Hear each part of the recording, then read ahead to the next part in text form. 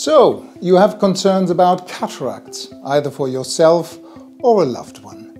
Cataracts are a fairly common condition of the eye and consist of some clouding of your own natural lens. In most cases, they are age-related and develop very gradually. Some cataracts can develop earlier in life and some even can be diagnosed at birth, but rarely. Occasionally cataracts are related to diabetes, iritis, very long steroid drop therapy or to previous eye surgery. The good news is that this cause of poor vision is treatable and probably the most satisfactory to treat. The symptoms are that there is some blurring or haziness of your vision and particularly glare in bright lights, which can be quite disturbing in sunlight or with oncoming headlights when driving at night. Another symptom is difficulty with reading although with a particular kind of cataract, the so-called nuclear cataract, some of my patients become gradually more short-sighted, suddenly enabling them to read without glasses. The decision if and when to have cataract surgery is really entirely subjective, but generally we are guided by the fact that patients want to keep driving or wanting to perform specific tasks in life, which become difficult to do, for example, small print reading, um, watching TV, or playing golf. In most cases, and that is my very personal view, I would always wait with cataract surgery until the cataracts interfere with normal life, meaning that my patient is actually disturbed by the lens changes.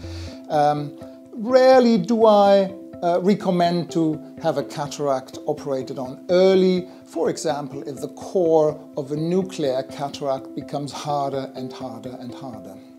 Cataract surgery is day surgery and we remove the cataract, which is your own cloudy lens, with the help of ultrasound through a very small keyhole incision and replace it with a folding acrylic uh, implant lens. Will try to reduce your uh, postoperative glasses wear as much as possible, but you still may still require distance glasses for best vision and even um, reading glasses.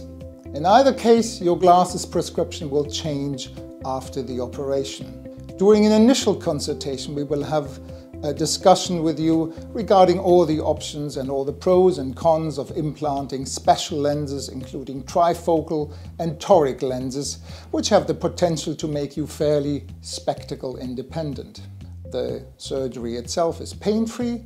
We will numb the eye with very strong drops and just to reassure you, there will be no sharp needles involved. You will be lying down during the surgery and as I already mentioned, we use ultrasound to remove the lens and then replace your old lens with a new customized lens. Parts of the operation can be done with laser, However, big studies have shown that this does not significantly change the outcome, so it is really up to each surgeon whether or not to use laser during cataract surgery. Recovery after cataract is reasonably swift. Within a few days, you will um, see fairly well and you will need to take anti-inflammatory drops for around four weeks. I would always discuss all of the pros and cons and the risks and benefits of cataract surgery with every, pa every patient doing an initial consultation and also the post-operative visual requirements, which will include a choice of intraocular lenses uh, depending on your uh, expectations and your post-operative requirements. Sometimes you will not mind wearing glasses after the surgery, and some patients would love to be ideally spectacle free. I often get asked whether cataracts can come back, and the short answer is no.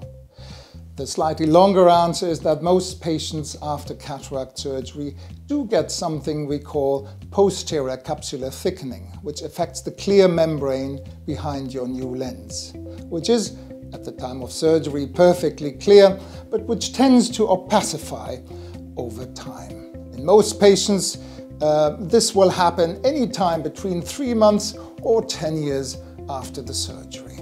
Luckily, the treatment for this is a small pain-free procedure called YAG laser capsulotomy, which can be done on an outpatient basis.